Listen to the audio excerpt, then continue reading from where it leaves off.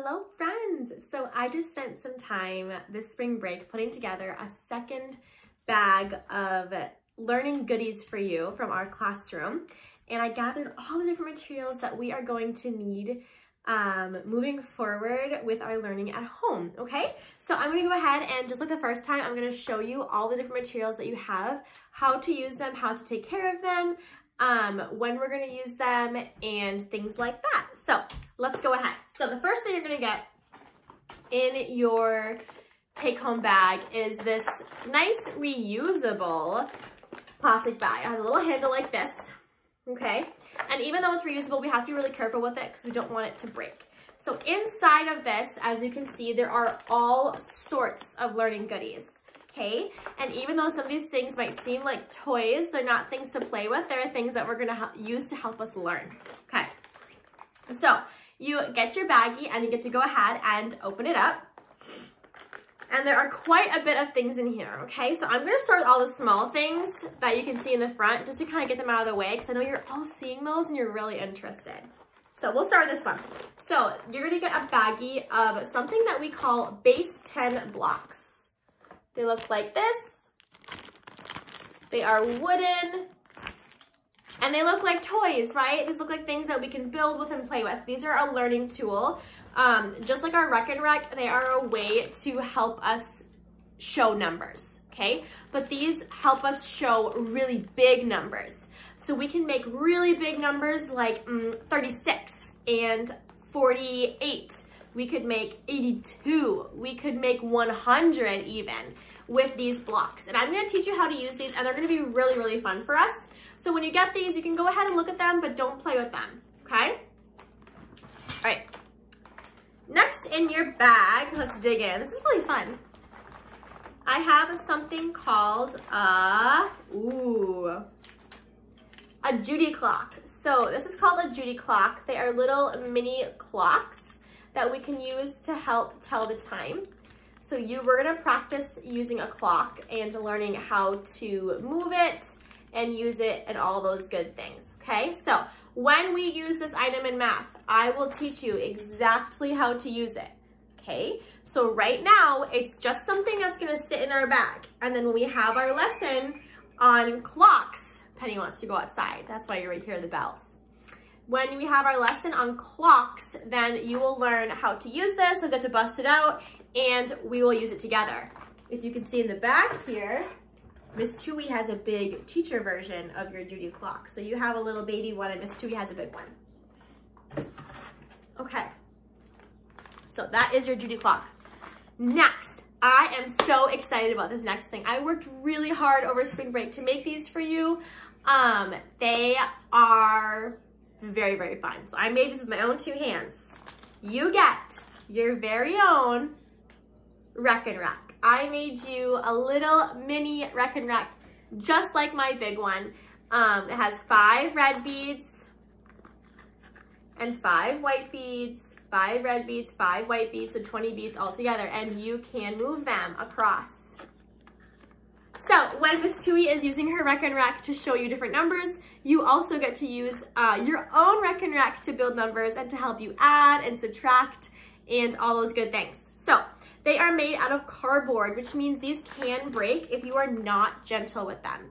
Okay, so keep them away from little siblings. Maybe keep them in a very safe place. If I were you, I would keep them in my learning bag so that they have a safe home to be and that they probably won't get ruined that way.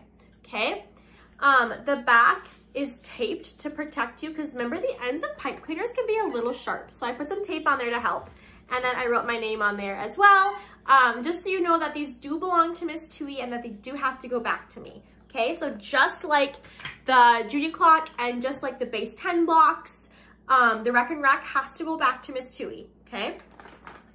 So next, I got you some more mini erasers to add to your counting collection. So in this bag is a mixture of 20 mini multi-fix cubes that we can use for adding and subtracting and counting and I gave you 10 new uh, mini erasers for your counting collection, and they are spring themed. So there's little froggies and little bees and flowers and, and things like that. So this is to help you count and to help you with your math. Um, if you want to put your 10 tower in here and your other mini erasers, that would be a good idea. You can combine them all or you can organize them. You could put your mini multi-fix cubes with your 10 tower and your mini erasers with your other counting collection. It's up to you, but I would keep them together very nice, neat, and organized.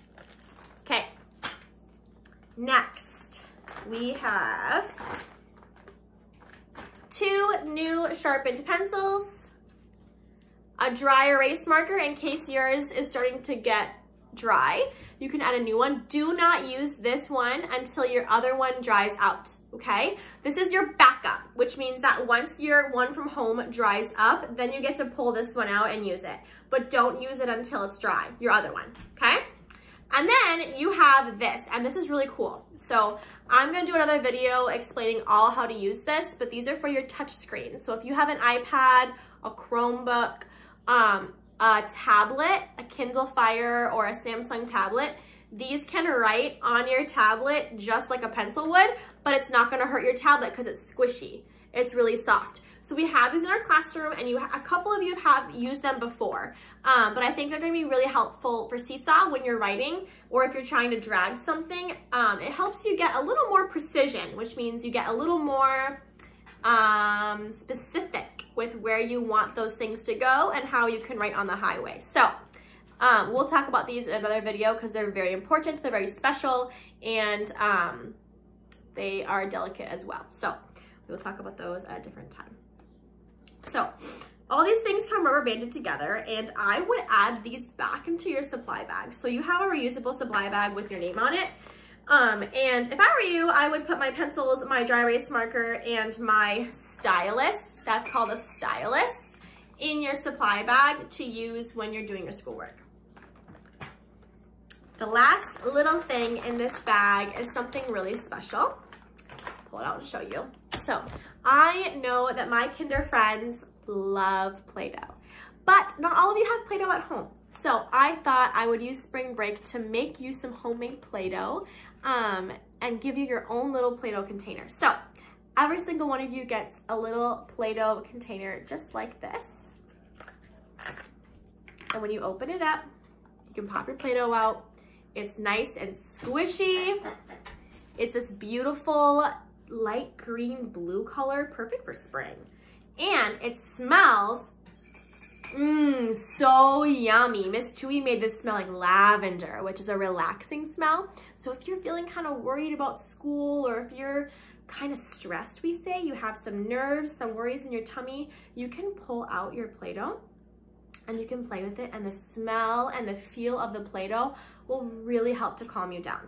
It might not make things perfect, but it'll make them a little bit better. And you can know that I added a special ingredient to this Play-Doh and that's love. So you can feel a little extra love in your Play-Doh as you play with it. And you can smell it to help calm you down. When you are done with your Play-Doh, just like the ones in our classroom, it needs to go back in its container. So you have this little container with this nice lid. You can't just put the lid on top. That's not closed, look the air can still get at it. So we have to make sure that the lid is on tight, um, just like our caps of our dry erase markers so that this doesn't dry out. So go ahead and press down. And this one's cool because if you just kind of press the middle, it kind of seals the whole thing. So you don't have to go around the corners. All you have to do is just like that. Maybe double check to make sure they're all sealed.